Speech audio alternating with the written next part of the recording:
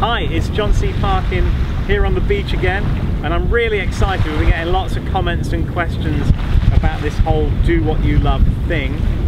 So just in case you haven't seen the previous two videos and there will be a link on this page to those videos if you want to see them or you want to see them again.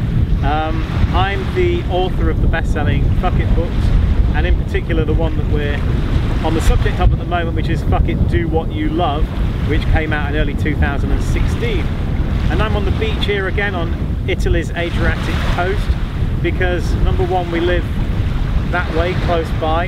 And number two uh, in that direction I'm doing a retreat at the moment a Fuck It Do What You Love retreat in a lovely hotel with a great group of people. So in the first video we talked about why we might want to do what we love. And as well as the obvious point of it making you happier because you're doing what you love, uh, that it also makes you healthier, uh, that it can make you more successful, and if you want, thus wealthier.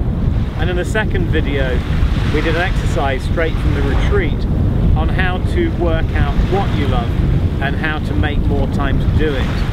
And in this video, we're covering another big yes but. Yes, but how can I make money from doing what I love? And in this retreat that I'm running down the coast, we really look at this in some depth, how to find an idea from the stuff that you love and make money from it. And today I'm going to share with you that model, the one we've been exploring during this retreat, which can help you understand how to value yourself and also start to think about how you could make or start to make some cash from doing what you love.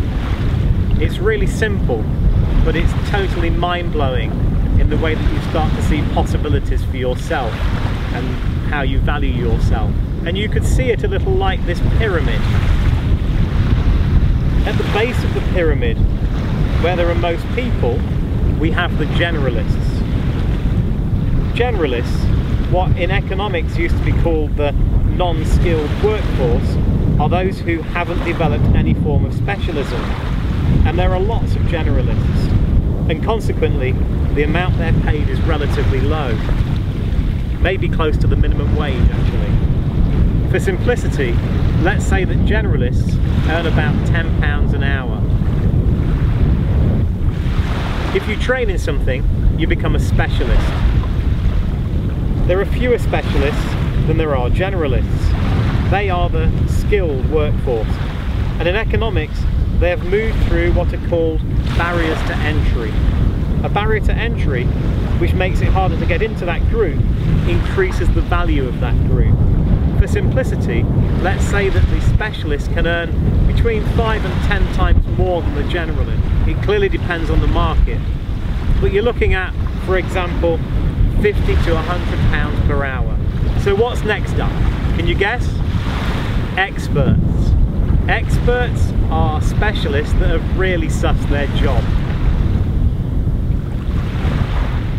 Maybe they've specialised even more. Maybe they're renowned in their area. Maybe they've written books. The point is, this is an even smaller group. And that means what? That they can charge even more for their time. Again, this is an oversimplified picture, but five to ten times more takes the amount that they can earn to between £250 to £1,000 an hour. And if you think about expert lawyers or consultants, you'll see that we're not that far off with those figures. So that's it, yeah? I mean, who could earn more than £1,000 an hour? Well, there is one more category, and they're right at the top and there's usually only one or just a few of them in any given market. This is the guru. There's a guru in most fields. The guru is the expert's expert. They are usually famous. They probably innovated in the field.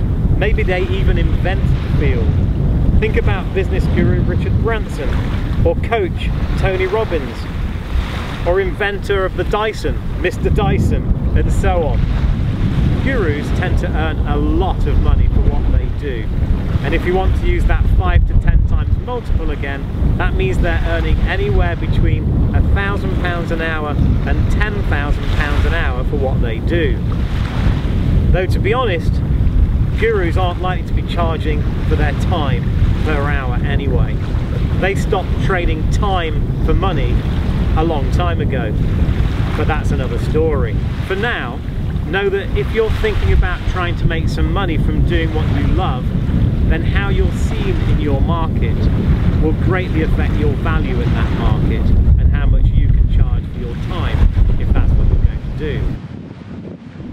This is all very exciting and this whole do what you love thing is very important as I've mentioned. So I'm looking forward to sharing more with you so do look out for an email coming your way in the next couple of days and as usual please do leave a comment below.